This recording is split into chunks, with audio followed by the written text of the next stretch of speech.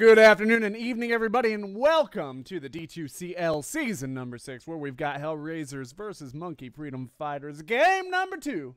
Coming at you, my name is Gorgon the Wonder Cow. You can catch me on Twitter at the Wonder Cow and writing for just about every major Dota publication in the world. And of course, I'm joined here by Dragon Drop for game number two. I know you're not feeling that well, Dragon Drop. You've got a bit of a throat thing, and I appreciate you coming in and joining me.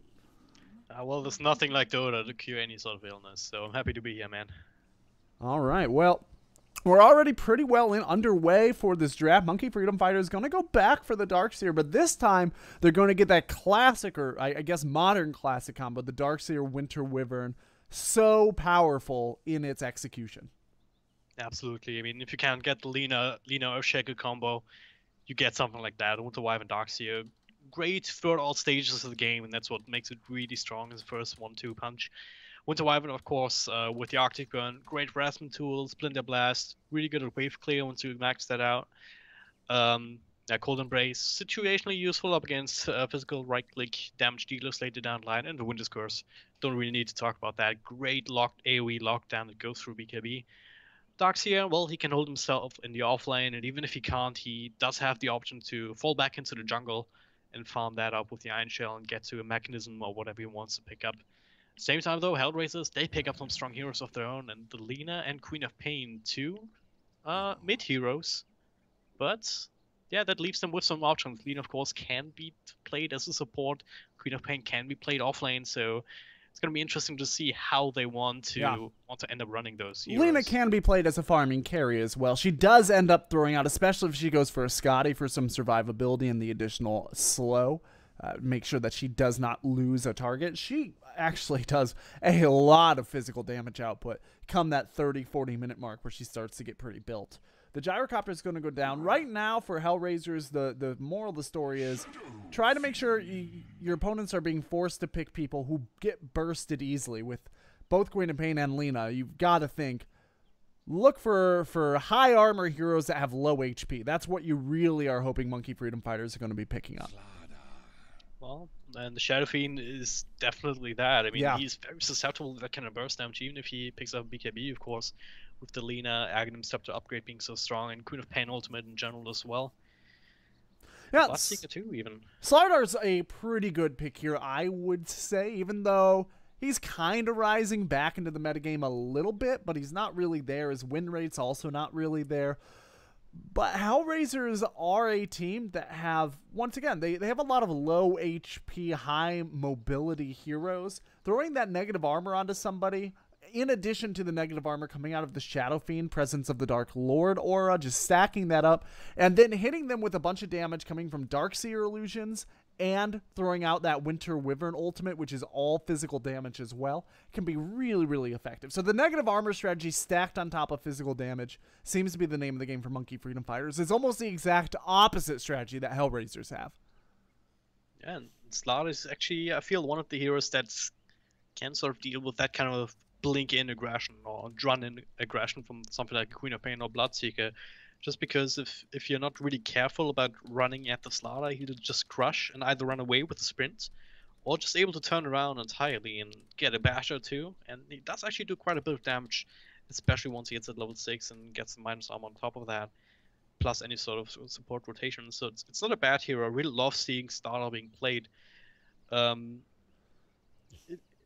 just that it, he works in not in all drafts, right? That's where yeah. you don't really see him all that often. He gets kited so heavily yeah. too, and that's the that's the real problem. Queen of Pain, Bloodseeker, great kiters, Naga Siren, also great at pulling out those kites. As soon as somebody gets close to you, just throw that song on, get a safe distance away, let your team collapse in if you want. The reinitiation potential in that Naga Siren is really powerful, and do you think that that's uh, going to be a support Naga, or is that a one position Naga with the support Lina or support Queen of Pain?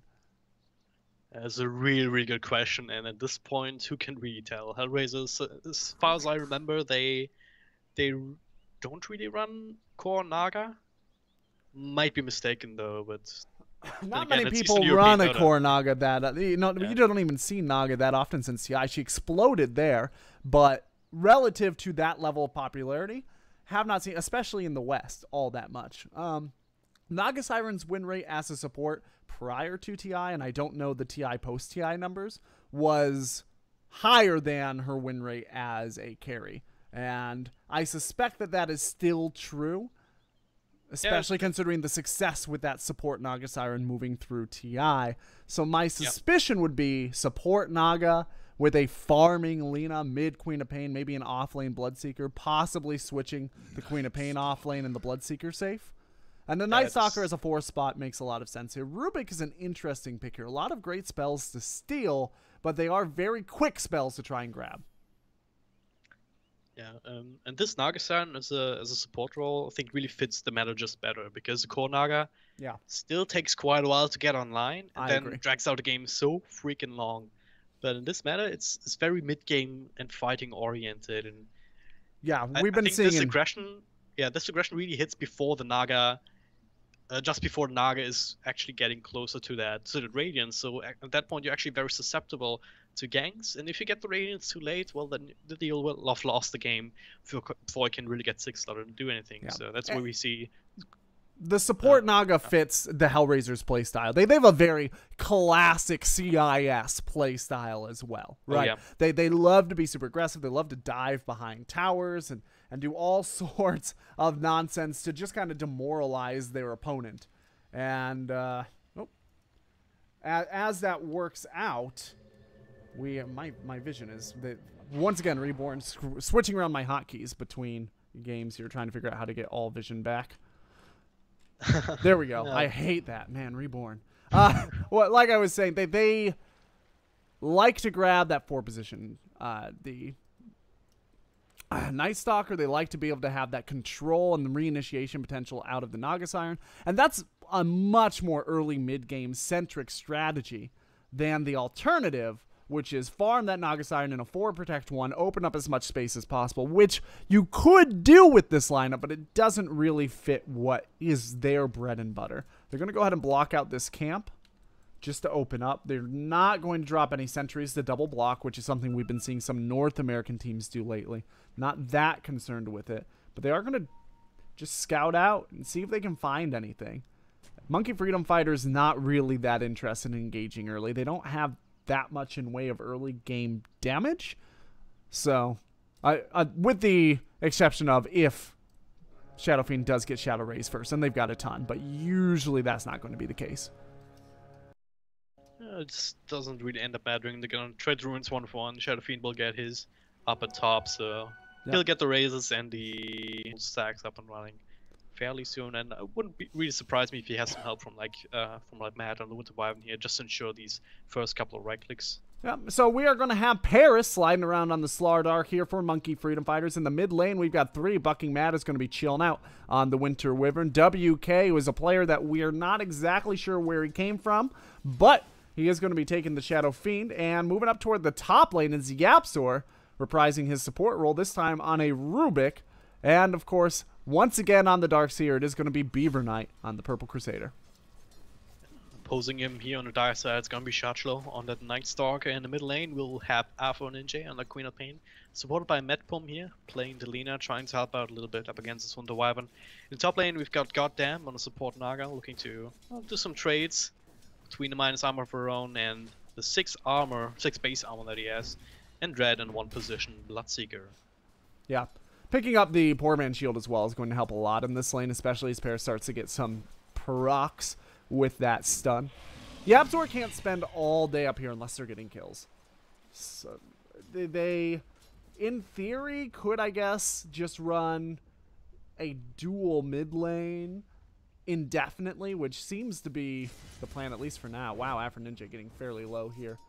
But Paris is probably not going to be able to outlast hit a farming safe lane carry as a farming off lane carry, even with support, especially with the aggression that that is a Bloodseeker. They're yeah, going to throw one stun. They're going to have a second stun here. It shouldn't be enough to really make too much happen. Body blocks are going to be there for a little bit of extra damage, which will help, but Dread just needs to get a couple of last hits. Goddamn, however, if there were additional stuns, could be in trouble. He's, this is wacky. There we go. There's one right. stun. There's going to be another stun from Yapzor if he wants to get in. Instead, Dread going to allow get him. to heal up a bit, get that extra damage. There's going to be the return. And yeah, you're right. Nothing too significant happening here. That telekinesis coming out a little bit late. Yeah, I oh, mean- Metpalm rotating up Uh. invisible. One Dragon Slave would probably do it on Yapzor. Metpalm has This not been actually still level out. one, so Oh, just now it's no. level two. Meanwhile, Queen of Pain is going to grab the Shadow Fiend narrowly mid for the first blood, and here comes the stun. The additional damage coming out. This is not going to be enough, though. Telekinesis probably not even needed there, but certainly helpful.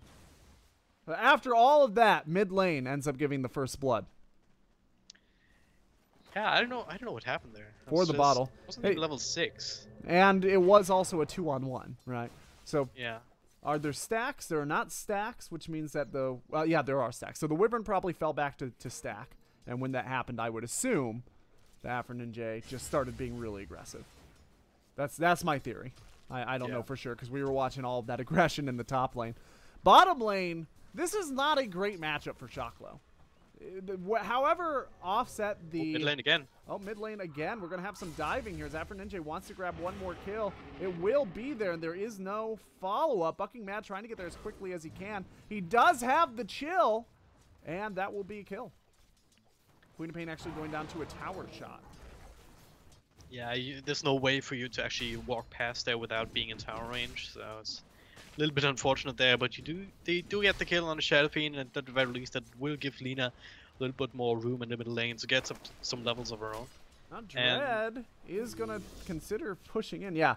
Uh, I, I like this trade here. Th- throwing Paris in the bottom lane where it can actually get some farm. And then returning back to the one-on-one Dread Beaver Knight Bloodseeker Darkseer last game. That worked out pretty well for Monkey Freedom Fighters last game. Their Darkseer was not behind. The Bloodseeker wasn't too far ahead. Everything seemed to work out. If Paris doesn't get some farm, then Hellraisers will just run through them come the second night. Yeah, my question is, is that too late? Because Shachlo, he's got pretty much free farm and free experience down here in the bottom lane, sitting at 20 last hits and almost level 6 even. Yeah. And the first night nighttime just arrived, and they're gonna go on Yapzor here. Double damage rune will not protect him here. The stun from Paris might for just a little bit. Goddamn, still behind him as well. And now with the teleport Shachlo action. is going to be forced back with the surge. There's going to be a stun, and they're going to make this turnaround. That is going to be a kill. The wand will not be enough, and meanwhile, it seemed like there was some aggression potential top lane, though. Dread is just going to be forced back away from last sitting, which is just going to be the way of it. He's oh, he's capitalizing Fast. on the low, low heroes in the bottom to try and get a bit more aggressive. He's going to heal up. Yeah, he's very fast. On delay, on man. delay. That hero. Let's Ever see. since they removed the max, max Oh, yeah. speed cap on him, it's just so ridiculous what he can do. Uh, this is I'll interesting. The Night Stalker is going to come in as well. Paris has been left completely alone down here. They're trying to gank the mid lane. Monkey Freedom Fighters, that is. Paris is going to be held still, and that should be a kill now in the mid lane. Will Afroninja coming close enough? Not quite close enough for the telekinesis. The vision around, because this tree had been knocked down, ends up making all the difference. That I would not really sure if one telekinesis would have been enough to actually keep Afro Ninja down because Yeah. it's not really the longest uh, longest lockdown or Shachlo. He finds mad here. Has the Arctic Burn though, and we'll Yeah. fight to the right side. Arctic Burn is fine. Paris is going to be right.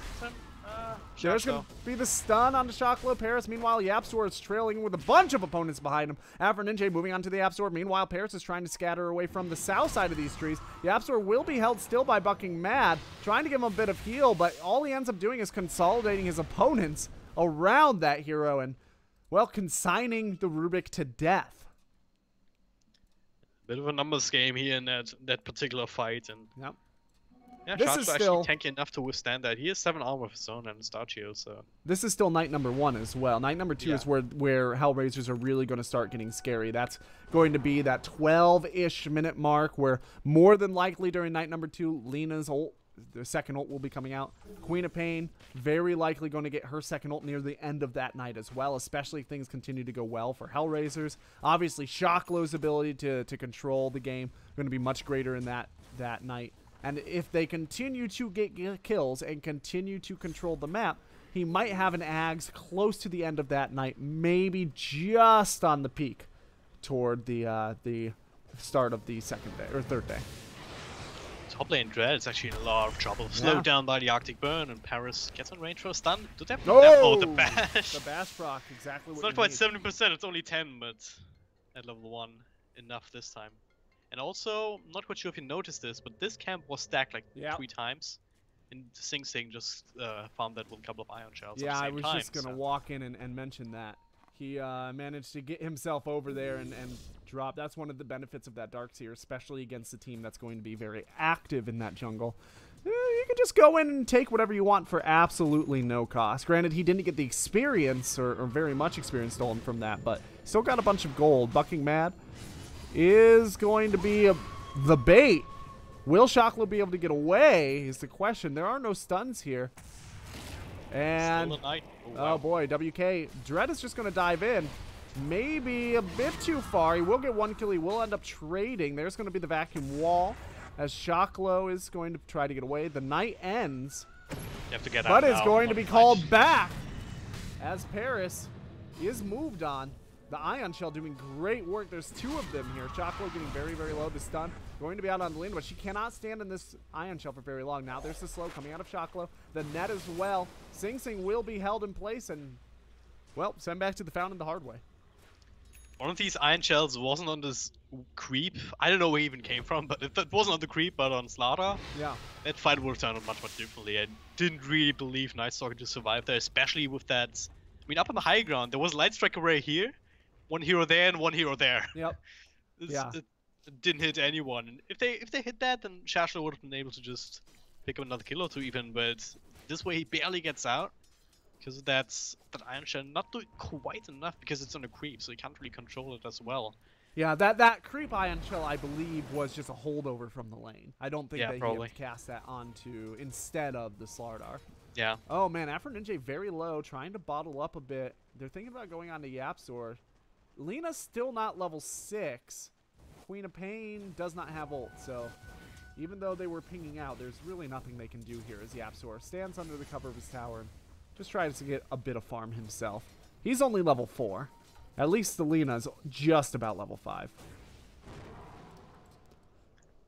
He, Matt Pam gets levels now on mid. He just has to be careful not to get picked off by anything. And, but it is daytime, so it's a little bit easier to spot these kind of ganks, unless they have a smoke going, which they're gonna do right now.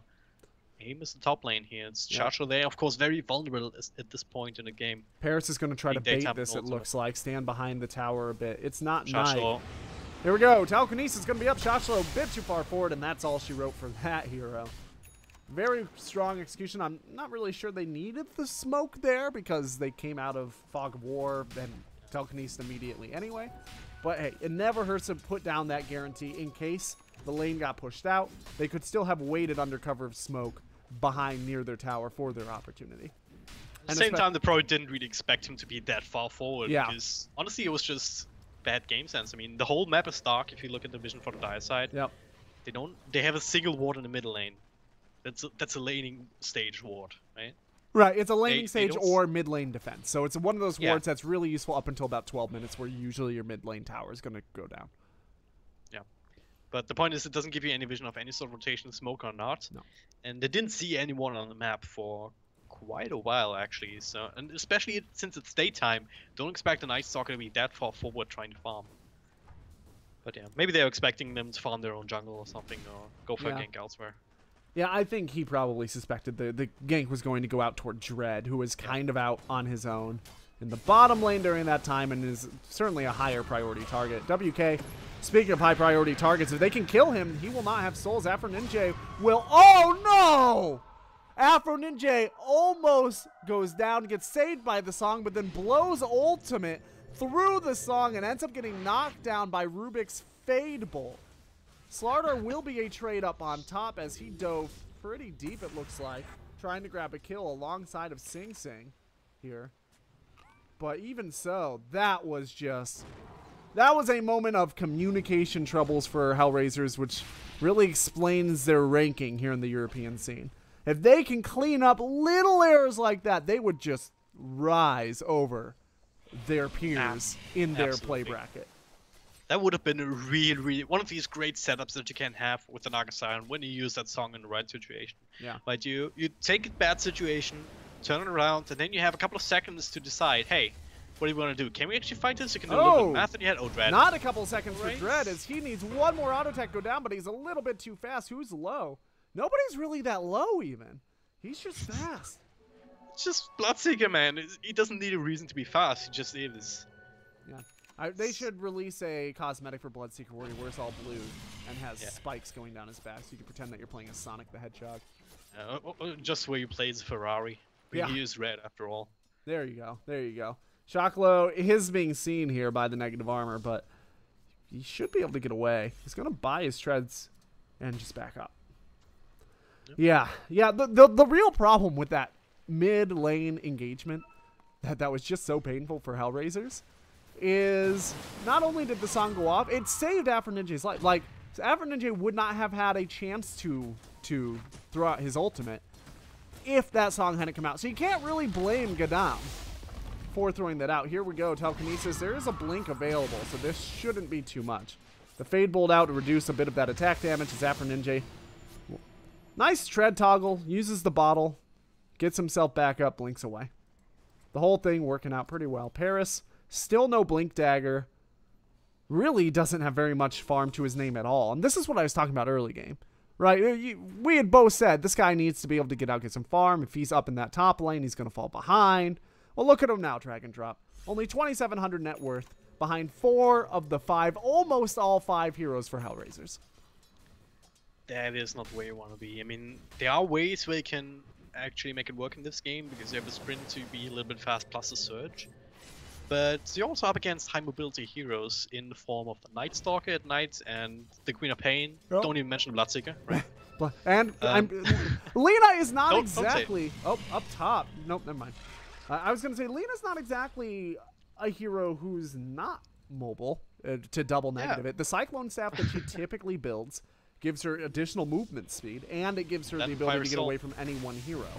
Up top, we're going to see a kill onto Dread, but the entire rotation under smoke from behind. Here we go. Paris is going to be the target. Negative armor going out there. The stun will land, but it is not enough. And meanwhile, Afro Ninja is going to be held down, but there's a very nice song, this time coordinated. They're going to stay around and fight this. There's the stun, along with the ultimate coming out of Queen of Pain. Everybody is down to about half health. Oh, Lina not quite able to knock down WK. WK's ult does go off. It is able to wipe Lina off the face of the map. Goddamn is also going to be going down as Afro Ninja is forced to back up with a haste turn. They should not have hung around there, Dragon Drop. No.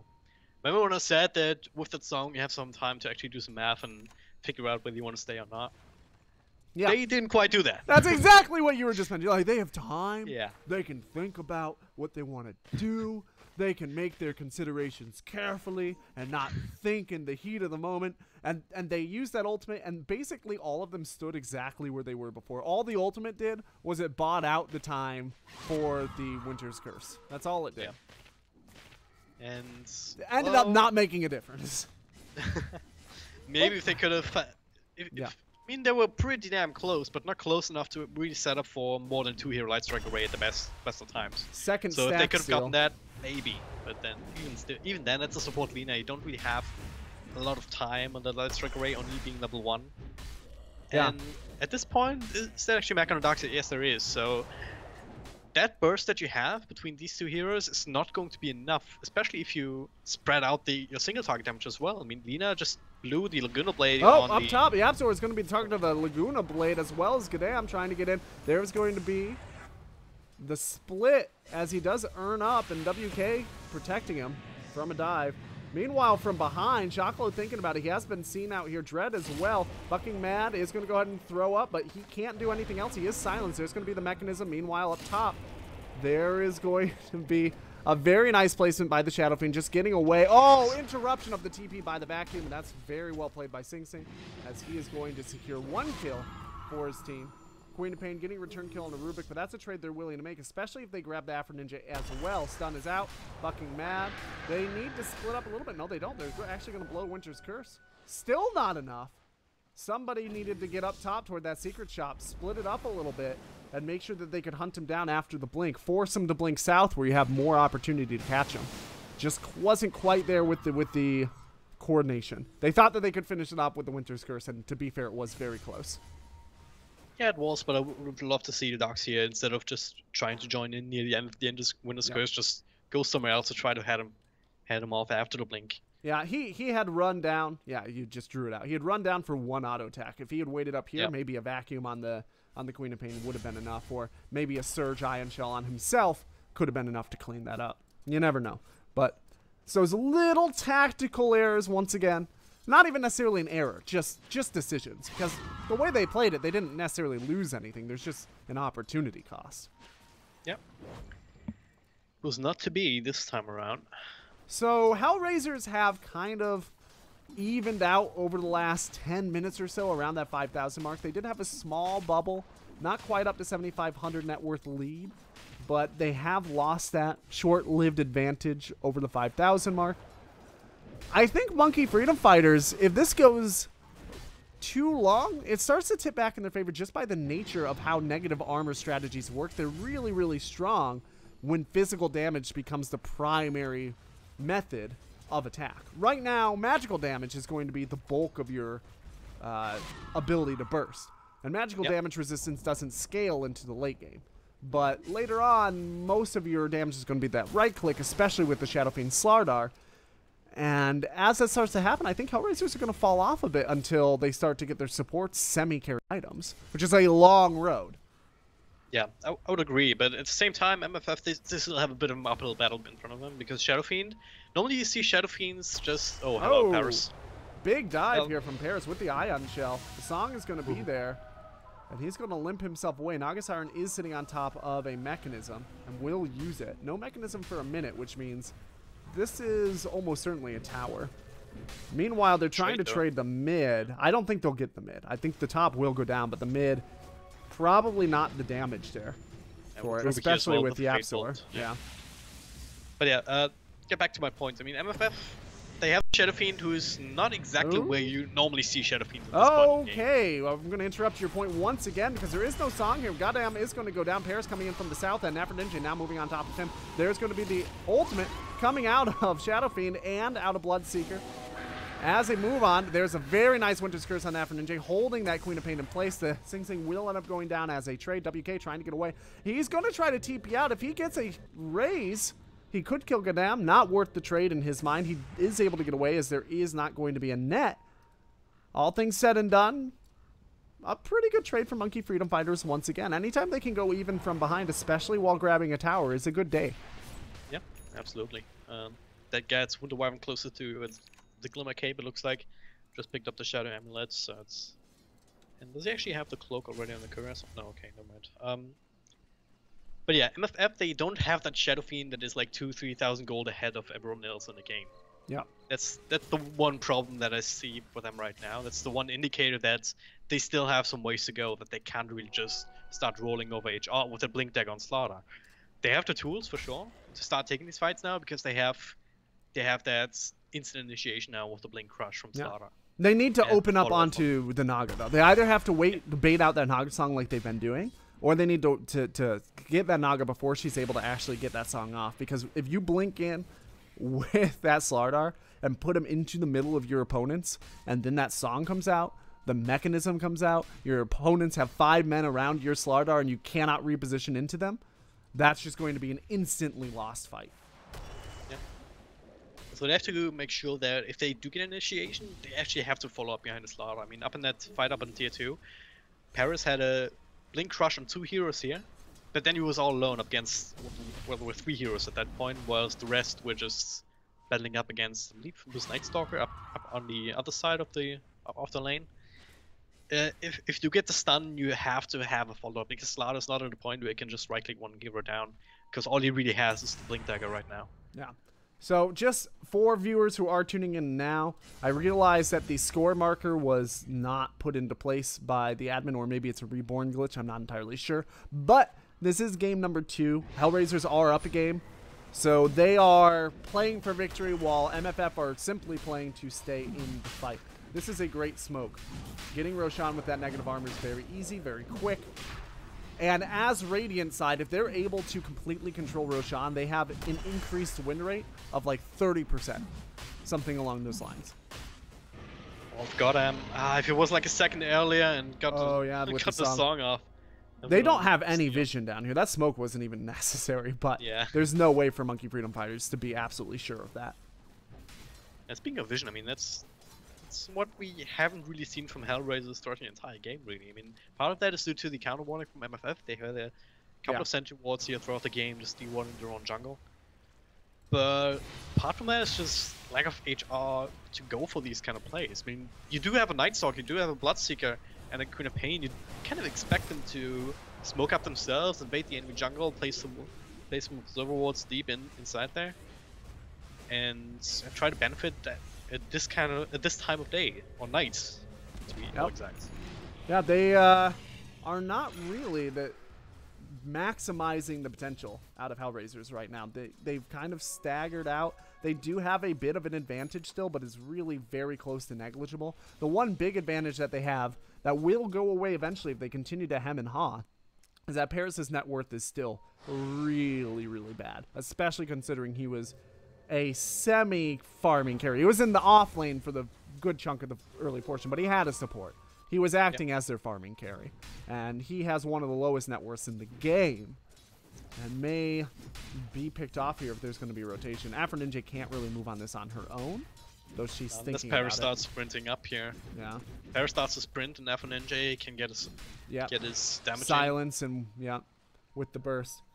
Not Okay. quite able to secure it safely. Afro Ninja has no vision in this entire area, so she has no idea if if anybody is going to come and help him. A lot of heroes are off the map for Monkey Freedom Fighters right now, so that was a good call by Hellraisers. Just scouting him, getting a little bit of soaked experience, not taking anything too risky.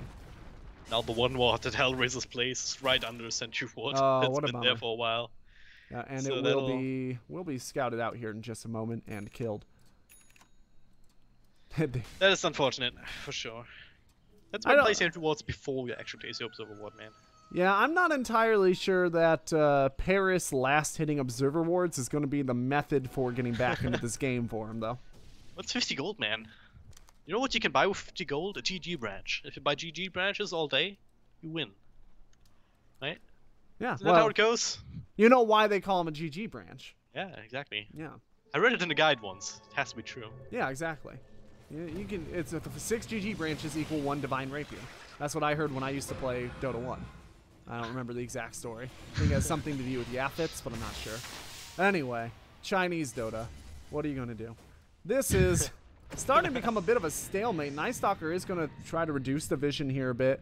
That implies that they're getting ready to move. They have been scouted out. Oh, the net cancellation. Go down. Was thinking about moving on that. Decided not to. MFF still have to be careful because you do have the Night Stalker with the axe, especially at nighttime with its ultimate going. You do have the vision disadvantage. Yep, And you huge still have Queen of Pain who's quite farmed, and you have the Oh. Siren to worry about if you start fighting. Shachlo is sitting on top of a gem as well, by the way, in case uh, that did not end up making it across for the analysis there. Paris is going to be taking up quite a bit of damage, and he will end up going down to that pure damage burst coming out of the Queen of Pain. Winter's Curse is going to go down Afro Ninja. Meanwhile, WK is going to be sent up by Lina. Lina trying to do quite a bit of damage up here. There's going to be the auto attacks coming out. WK is Surge. He's thinking about moving in. Meanwhile, on the south end of this fight, Shachlo is 1v3, now 1v4. He can't go up this way. There's a wall there. He will die just walking through the wall, trying to get into safety. The Siren Song came out very late in this fight, and there is no burst left. Yeah, even though Uh, everybody was grouped up, there was no burst to take advantage of that song placement. I'm not Yep. sure was it wasn't on cooldown, was it? It just wasn't used. Uh, the what? what was The used? Siren Song. No, it wasn't. Yeah. Because, well, the fight was really spread out again. I mean, start off with Paris being all That's alone true. up top here, and then Shachlo dying all alone in that same kind of same kind of position. It's a little bit weird how that fight went, but the end result is they do eventually get the tier two, trade do a one for one trade for with heroes that Oh, quite similar. Yapzor, we hardly knew ye. Oh, he's got a Cyclone. I hadn't actually seen that come out. He's going to purge that silence. He's going to telekinesis. He's going to steal the ultimate from that last fight. It won't quite be enough. Gotta make them work for it. Man, he manned up there. It didn't work out for him, but you cannot. Can't accuse him of doing anything but going balls to the wall on that one. Queen of Pain, when she saw her own ultimate thrown back out her, was probably a Yes. little bit shocked, because that was that had been stolen in that previous fight during all that bedlam. That's the second ult that I've seen Yapzor steal actually earlier in that one of these fights up in the top lane uh, near the secret shop. Um, he actually stole Rupture and put it back onto onto Bloodseeker. So Yeah. he's doing some good Ruby plays as you would expect from him. There is this moment in this game right now, and, and, and you can correct me if you think I'm wrong, where this is like Hellraiser's time. They absolutely need to just go in and dominate a fight right now. Use the Siren Song to reinitiate something. Get a big, big Queen of Painel on top of a silence and just run through two or three members of Monkey Freedom Fighters. If they can't do that now, they won't be able to do that again for maybe 15, 20 minutes until the Naga Siren is no longer a hard support, till the, the Night Stalker is a, is a damage dealing carry in of himself and not just a vision restrictor. This is the time to shine. Yeah, I would agree. And maybe now is ah, okay. They scout out that something's going on with the illusions there, but yeah, I mean the way MFF is playing as well, the grouping up is pretty much five for once they cross the river. Now there's the Winter's curse opening here and vacuum back into the wall. Now's Yeah. the time to use the song. There we go. There is no song, but there is going to be the, the, the song interrupts the silence coming out of the Bloodseeker. Queen of Pain ultimate goes off and does hit WK, but nobody else. There's not enough. Meanwhile, WK did get his ult off in that fight. There's going to be a stolen Laguna Blade from Yapzor. That's the second ult in two fights that he's managed to grab for huge burst. Shachlo will be going down. Maybe, yeah, there it is. The gem hits the deck, but it's up under the protection of the tier 3. Paris getting very low, but Winter Wyvern just enough to keep him alive. The vacuum to force them back. Dread will pick up the gem, so at least that does not change hands. Winter Wyvern sitting on top of his own gem. Yeah, that if those fights aren't going the way of Hellraisers, they aren't going to be taking anything anytime soon. They're going to have to play for the long haul. We're talking 50, 60 minutes. Maybe they're able to equal out the amount of damage that they're doing. But with the builds they have, especially, the Ags on Night Stalker is really an auxiliary item. It doesn't give a whole bunch of damage dealing at any stage in the game. The Lina doesn't really have anything anymore other than the Yule Scepter. She doesn't even have boots finished. Uh, the Naga Siren has gone for full heal armor. Queen of Pain has gone for full burst. Bloodseeker's the only one kind of going for damage, and he's even gone for survivability. So it's a it's a long road to Dublin for Yeah. Hellraisers. It's gonna get progressively harder to actually make these kind of combos work, even if they get them off flawlessly. And we've seen once again a little bit of a miscommunication there, or a little bit of insecurity as well from uh, from Goddamn. I felt I felt like he uh, that song sound was just a little bit too late. Yeah, or a little bit And too early. One of the two. Yeah, one of the two. And I mean, was a little bit of a problem that Sheriffine had his BKB running at that point, and even though you're sure you can net him up, but you still have to get rather close to set up for a proper combo. And he's hitting. Actually, he's actually quite scary hitting right now Yeah. uh, with all the souls stacked up, so you can't really just stand in front of him for a while. Yeah, the, a And- big problem with with the way the, these things have been going is that honestly, I don't feel like Goddamn's. I, his songs haven't really been that bad. His team just hasn't been on the same page as him. That last song, I Yep. understand why he he waited as long as he did. They were trying to single out the Nevermore, right? He threw up BKB, and as soon as that happened, there's the song of the siren, so they can one v five the BKB WK. Yeah. Right. That that's the goal, but they had nobody in place for it, and and Queen And of how- Pain how do you actually do that? ult. Yeah. Yeah. Where's, where's the damage check? I think he had to run away because he already took some damage of his own. If I'm not mistaken, so he, Yeah. he wasn't really near. Night Stalker didn't really see him there either. Was pretty It's- much got them all alone up against his Night Stalker, and then yeah, Queen of Pain, Afro Ninja says, "Alright, I'm helping, I'm helping, I'm just popping my Sonic Wave on one hero."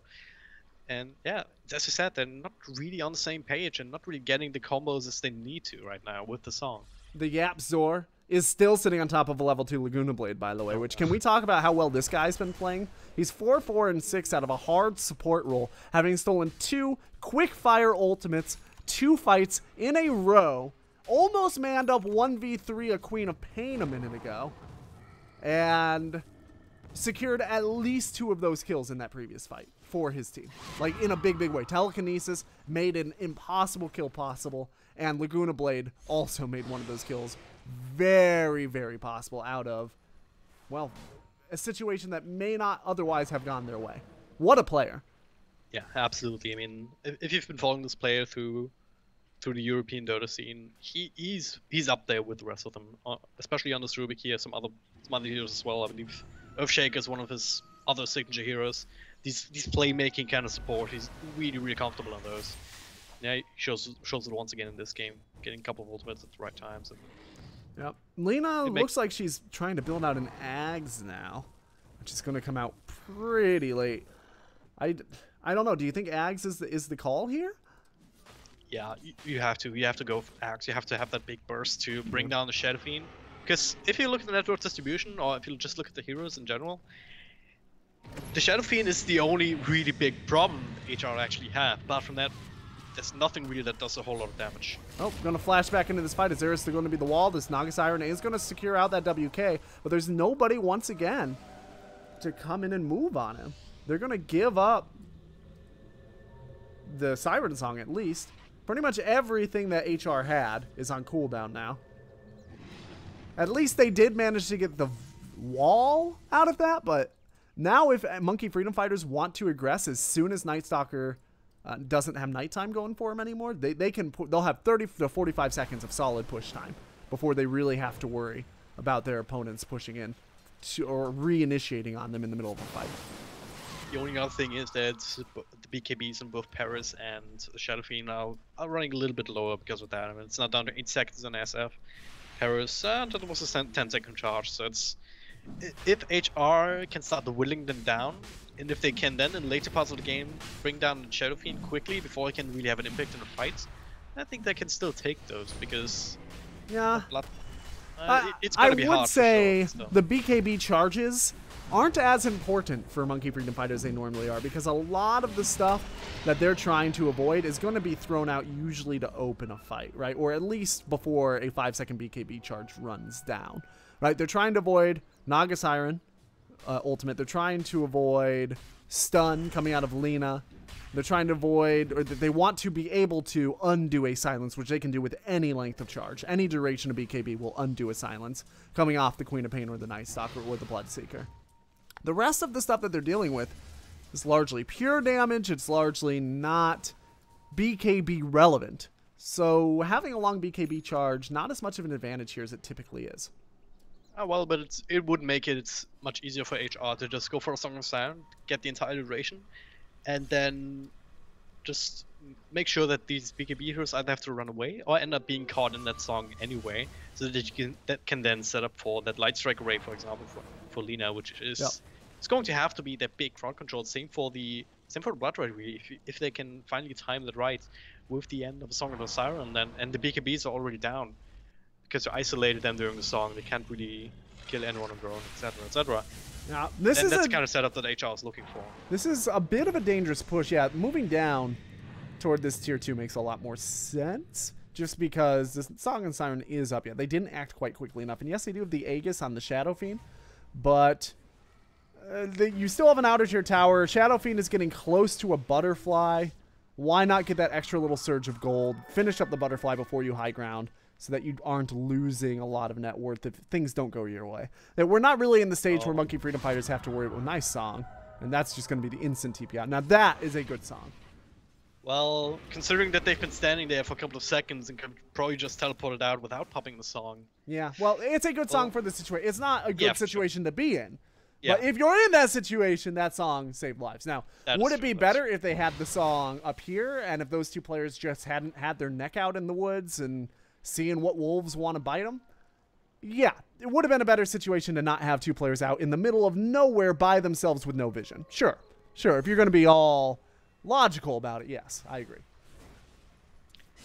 Well, yeah, it's gonna be the call for MFF to now take this last remaining tier two tower, and HR they're gonna trade though. They have Shachlo down here in the in the middle lane, and the rest of the he- heroes up at the top. Question is, do MFF care right now? They can just go high ground with song being down. Yeah. I, I don't think Monkey Freedom Fighters care. Even if they only got a tier 2 for tier 2 trade, that's fine for them. They late game better and earlier than Hellraisers do. So if they give Hellraisers an equivalent surge of gold to their surge of gold, that's still in favor of Monkey Freedom Fighters until Naga Siren, Night Stalker, Lina start getting DPS items, which is still a little ways off. No, Two trading is fine. Paris. Here we go. the There's going to be the Winter's Curse on Afro Ninja. This telekinesis as well, and he will be going down. A great TP back and execution on that. Everybody else is going to get away. So they don't go high ground as as expected, but they do manage to pick up a kill. I, very important kill as well. That's that's the one hero that's been really keeping up with the Shadow Fiend. It's, it's not really an easy feat for anyone. Unless, unless you really can't take really heavy farms like a Coronago and Ultimate or that kind of stuff. Lots of armor coming out now for Hellraisers. That will be a big step in the right direction in terms of buying time for them. Getting the Assault Cuirass to try and get rid of the influence of that presence of the Dark Lord, and also having out the Solar Crest in order to knock down some of Slardar's influence. That can make a pretty significant difference in terms of just sustaining high ground defense long enough. As in theory, if they do go long enough, Naga Siren becomes a very, very strong late game hero. Night Stalker can as well. They still don't have very great high ground attack. They don't necessarily need it if they are going to take a bunch of fights in a row in the late game. At 38 minutes, though, things are looking pretty grim for Hellraisers. Yeah, especially considering the Shadow Fiend. I mean, he's sitting on an Aegis and he's sitting very hard with completed Butterfly, so even without the Aegis, it's really hard to bring down unless you blow the Lina Ultimate, which is of course what they uh, what they what they built at Aghanim Scepter for. But with the Aegis, he's just gonna come back, and then you can't really kill him twice. So Yeah. it's kind of a little bit of a predicament that they're in. That the song's actually not going to solve. Yeah. Gonna have to wait this out somehow. And they're just they're probably just going to end up giving up Arax because they can't move into that Aegis, right? And they're going to try to harass him down, but there's the constant heals, the constant support coming from behind. And then he can just charge right back up. There's a small wave going into the Radiant side thanks to Bloodseeker, but that's not going to be enough to knock down a tower. Oh yeah, this is just going to be a free barracks and a really bad situation to find yourself in if you're Hellraisers. Now that the Aegis is now. gone, they're going to try to Now move in go. immediately. BKB up as well as Blade Mail on Dread. He's moving in onto WK. WK gets his ultimate off. It does go through BKB in terms of its effects, but not its damage. Dread will almost go down. High ground miss causes WK to lose out on that kill. Dread will get away safely. Meanwhile, Goddamn setting up another fight. Winter's Curse is there. Out on the Chocolate. Meanwhile, WK being held up here by ooh, the Winter Wyvern. Ultimate out by the Lina as well. And that's one hero down. The rest of the heroes scattered for Hellraisers. Melee Barracks down as well. WK just going to walk on up on the high ground. Get this last attack onto the tower. This creep wave actually did pretty significant damage to the bottom tower, at least. Yeah. Question is, can Hellraisers hold on? They have nobody with a buyback, by the way. They bought out a bunch of items to try and sustain that high ground defense, and it didn't end up working out for them. Well, there's no buybacks, there's no ultimates on any of them. Um, Rupture's up, yay, but Yeah. Woo! now with the position where Shadow Fiend can just go on the high ground, doesn't have a worry in the world because, well, Laguna Blade only now coming back up, and even Yeah. then you. Oh, Oh, nice go. blink in by Paris, and that's going to be a very dead trade. Paris for the Naga Siren, which means when Naga Siren ult comes up, they won't have it still. WK can just stand here. There's going to be the stun, but all the misses from the butterfly. He's going to be healed up a little bit by the cold embrace, and then little he's bit, going to yeah. try to get away. He will not end up getting away. Maybe overstaying their welcome. Sing Sing as well. Going down. How much of a swing is that? Is that enough for them to maybe push mid? There are buybacks in all three, so no, it's not. Answered my own question. It's it's a 3,000 gold change. It's the kind of breathing room that they needed, frankly, because well, they. Yeah, I mean, they need to get another gem. I mean, the, Lena got that now, as Winter Wyvern got one for had one for both eyes. One's in the base now, but uh, it, it's a drop on a hot stone, frankly, because they have so much more to build up on. Because e- even now, even with the Laguna Blade, they're having a really, really hard time dealing with the blood, uh, with the Shadow Fiend. Just bring him down, even once, because they're not able to um, to get the Blood Rite combo after the song. They're not really able to chain the Light Strike array exceptionally well up again uh, behind the song. Yeah. Uh, So, so even though Hellraisers have a pretty substantial experience lead, they are really they don't have the heroes to ex- exert that strength, right? That's a big problem for them, and it will can they even defend this bottom barracks the next time it comes around without getting some ganks before that lane gets pushed in? I'm not entirely sure they can. Well, if they get another Roshan without an MFF, then I would agree no. If they don't, and if they if they can finally get an engagement going their way, which is, uh, as I said before, just blowing up the Shadow Fiend, uh, using the song well enough, and then following up on that song aggressively, using that a little bit earlier before half of your heroes are down and out of commission. Even if even if they're not dead. I mean, Dread in the last fight, he took so much damage that he barely survived and had to walk back to the fountain. So he was in no position to follow up on the song. Oh, that's a that's, terrible, terrible yeah. situation to have to use a song in. Yeah. Self-defense song, no reinitiation. If this push comes out strong, which they can do because they have a Darkseer with double ion shells, this Rax is going to potentially be sieged before that song is back up. After Ninja trying to do his best to make sure that there's some pressure elsewhere, I don't think that's going to be enough. And yeah, you can see Sing Sing is calling, calling for that push. Roshan won't be up in time for this for this advantage though. They're kind of fiddling their thumbs on this issue and they won't end up pushing it looks like. I, I think that's a loss for Monkey Freedom Fighters. I think the opportunity cast on that is pretty steep. Uh, yeah, I would agree. I mean, that's what they did in last summer run, right? They baited out the song, then they started pushing, and even without an Aegis, I, I can understand them not really going going for high ground, but maybe you you could you could have seen a smoke or something inside the Ryza jungle, get another extra couple of pickoffs or something like that. But Lotus Orb is up on the Night Stalker, taking a look at some of our other items. Demon Edge on the Bloodseeker. He's trying to be able to get through that evade chance that is now sitting on WK. Not a lot of new items coming out here for Monkey Freedom Fighters. They're going for a lot of mobility. Three Blink Daggers and a Cyclone Staff on their team now. But damage is starting to come out. Shiva's Guard as well has been finished as uh, alongside that Axe that's been out for a little while now on Afro Ninja what do you think? Is, it enough? Do they have the point of the game where they can engage? There's a double damage room there for Dread if he wants, but he doesn't want to pick it up because he doesn't want to give away that he's under smoke. Instead, he's going to be caught out. Paris is going to be healed up by the Cold Embrace. Beaver Knight out a bit too far ahead. Goddamn still doesn't have Song. He's waiting on it. Queen of Pain through the trees is going to get a nice ultimate out there. It's going to be the damage out of the Absol along with the Silence. WK throwing out his ultimate and getting out nothing for it. Two down. Nice for Monkey, or nice against Monkey Freedom Fighters. You goddamn. It's going to cancel a TP away, but he's got nobody to follow up with him over there. Just the Night Stalker. And they, Sing Sing will be able to get away. The blink on the Winter Wyvern is going to be enough potentially to get him away as well. Maybe not. Bucking Mad. It's going to be chased deep into tier 4s by Afro Ninja. Afro Ninja will blink away. And Bloodseeker ends up, meanwhile, chasing down why was Sing Sing still here? It looked like he had gotten away. Did he go back in?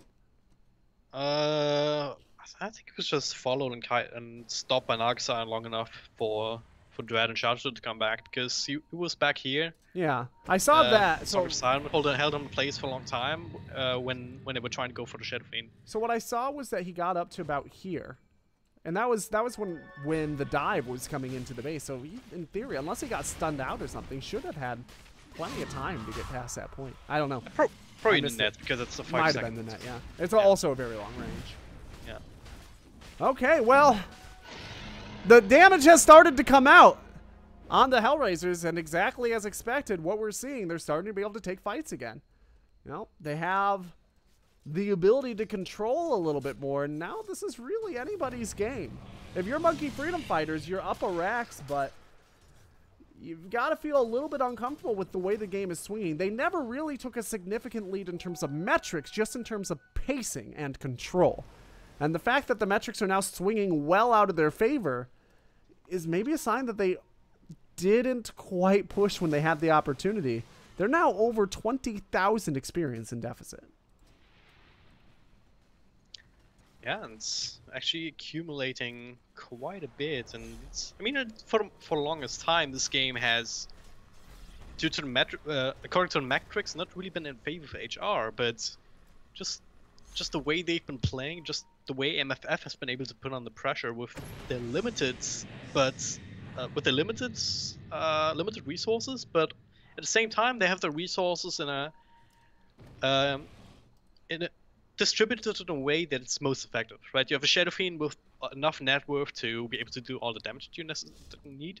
Then you have a Slardar who can get by with just being tanky, and he's just continuing to do that within the Soul Cuirass of his own. You have the Darkseer here as your third highest farm here, or, second highest farm actually, even before the Slardar with yeah, Blink, Guardian Greaves, even BKB of his own, that's all he really needs as well. So, MFF have been able to to utilize what they had very effectively due to the heroes that they had. But now HR, as you said, they're starting to win these team fights, get a lot of gold under the belt, and that is exactly the gold that they, they need to bridge that gap that they had in terms of damage output. Yes, this is an interesting point, especially because there are not a lot of buybacks in the game. So if this engagement goes off here, either team could be the victim of it. Hellraisers have not secured such a lead that they can afford to die without buyback. Shachlo does throw the Lotus Orb, but he will be taken down into a stun. Ultimate coming out of Queen of Pain. Bucking Mad is going to try to get away. And Sing Sing also trying to get away. There's going to be the ultimate onto Dread. That's not going to be anywhere near enough. Three down, Gem on the deck as well. WK going to go into four on his own. Throwing up the ultimate, maybe he cancels. He does get stunned out by the Laguna Blade. There's going to be the Aegis used, and now WK is very low all on his own two buybacks, one ultimate still left, but this appears to be high ground. That was not the fight to go for. Yeah. They, they start with not really a whole lot of vision. I mean, they, they had this observer up here. Not enough. That A lot of the heroes were behind these trees. Yeah, absolutely. Uh, Paris went in, then got immediately blown up by Adelina with Laguna Blade afterwards. That's your big tanky hero going down. And then YapzOr and Shadow Fiend, they were so far away. They had to wrap all around the back, and by the time that they got there, the rest of the team was already down. Yep. This appears to be game. I, I don't know. Slaughter will be up in two seconds. Wyvern will be all will be up in the buyback one. And been. Yeah, yeah but they, there will not be an ultimate there. Shachlo, I'm not sure what he's doing out there. Just giving over gems, it looks like. Yeah, two racks down. Buyback on the Lina. No buyback on the. Yeah, what was what was that gem feed? Coming out of nice. I don't, I don't oh, know. Oh, he bought his Desolator. Yeah, he ran up right as people were spawning. He ran up to buy Desolator. They are only up one set of racks, and it is an, a Baron racks. Like this could go away from their favor. There is no reason to be taking that kind of risk. Do MFF what? Are they actually going for Rex now, or are they going for Juggler here? I think you go for Juggler. They, they are starting to fall far enough behind. Go in, see if the fight starts to tilt your way. If it doesn't, back out and, and try to slow siege that Rax. If the fight goes their way, they just take the fight. They take the game. There we go. YapzOr is going to go ahead and grab a Scream Pain as Paris is going to throw out that stun. He's thrown into the Cold Embrace. There's the ultimate coming out of Lina. Some auto attacks going out there as well. WK getting very, very low. He ends up going down, almost taking out Dread. A nice steal from YapzOr. Does end up getting the Laguna Blade and securing a kill with it, potentially. Almost. After Ninja throws out the ultimate there, there's going to be the Wyvern down. And that's the GG. Yeah, a nice try coming out of Monkey Freedom Fighters, but they just did not push when they had the opportunity, and that's what it comes down to. Once again, the decision making and and communication for this team just doesn't seem to be there consistently. It's always there for about a quarter to a third of a game, and then it just falls off. Yeah, not a whole lot to add there. I mean, it's, it's what it comes down to. I mean, YapzOr, he's been playing exceptionally well in this Rubik, but ultimately it was not enough. But yeah, HR they they got their stuff together and they got to a point with their items and their and, and their execution where they didn't have to be flawless, right? That's what comes down to for me. Um, they have been able to find these Laguna Blade kills, not not necessarily on WK, but on Slardar for the most part. And that was enough to you know, start snowballing these fights in their way with all the sustain that they've had on the back of that. All right. Well, yeah, that's the end of the series. Hellraisers were up one game, and that's now a two-game sweep for them. My name is Gorgon the Wonder Cow. It's my pleasure to be here casting for you guys. It's I've been out of the race in terms of casting for about a year, and it feels good to be here brushing off the rust here with Dragon Drop. Yeah, definitely feels good to be casting with you again as well, man. I absolutely no idea how I lived without that for so long, but yeah. that's been fun for me. So thank you very much. Absolutely, it's my pleasure. We're going to be uh, well. I that's actually the end of our games for today because we had a delay on one of the games that was scheduled here. So thanks for watching, and Make sure you tune in for more D2CL action later on in the week.